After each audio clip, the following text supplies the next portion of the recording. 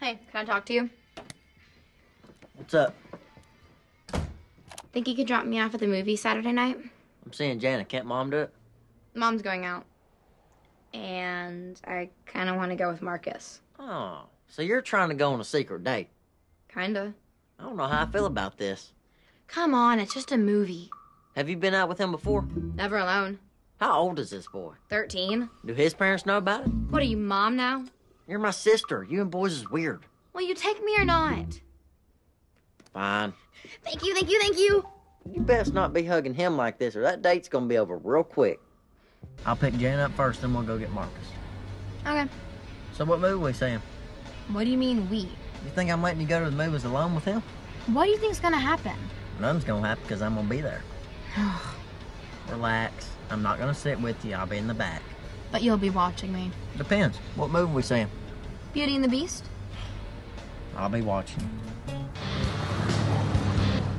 So, how serious is it with you two? Well, we've held hands, hugged once, and we haven't kissed, but we did share a straw. Wow, pretty serious. They haven't even been on a date yet. We got pretty serious before you ever took me on a date. Cool with that. Can I ask a relationship question? Of course. Who said I love you first?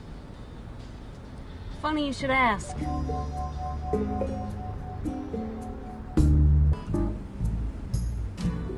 So no one's gonna say anything for the rest of the night? Wouldn't be the first time no one said anything when the subject of love came up. I said something. That doesn't count. Missy, if you said I love you to Marcus and he said samesies, would you be okay with that?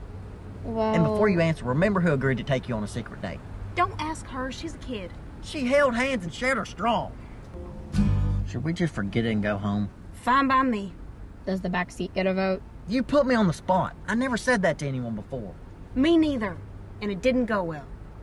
Samesies. I'm sorry. I'm not even sure what it's supposed to feel like.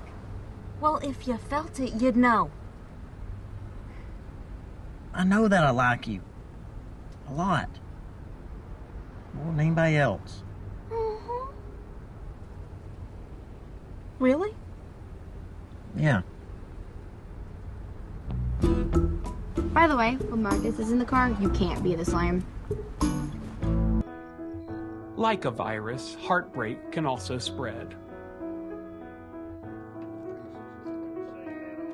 Once it does, it's hard to contain.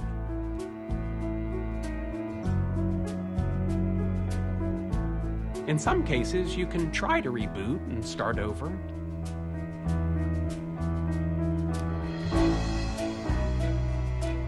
but it makes you appreciate those early days when your hard drive was clean. And the world was full of possibility.